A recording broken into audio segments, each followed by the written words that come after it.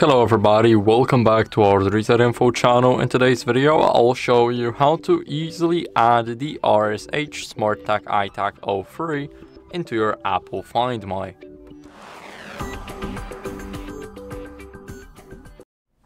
So this smart tag is a very good alternative. It's also cheap for an AirTag.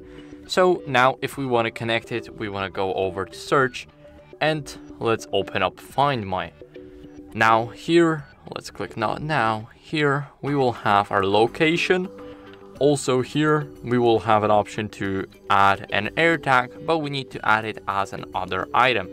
So first make sure that it's on, so grab it and hold this button for a couple of seconds until you hear a beep. Now let go and click on plus and click other item.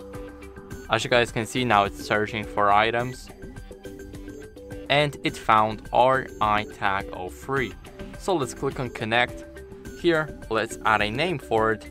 So for an example let it be the AirTag alternative and let's click on continue here we need to choose an emoji so for an example this one click on continue and here it will be linked to our apple account and as you guys can see now it's connected so here we can have directions and maps we can play the sound we can enable lost mode and share this item with other people so now this is the AirTag. Here we have the battery information and it's working.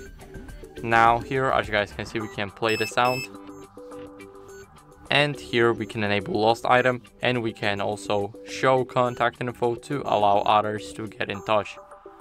So here we have a lot of more options and that's basically how to connect the AirTag. So I hope this video was helpful. If it was, leave a like, subscription and a comment and I'll see you in the next one.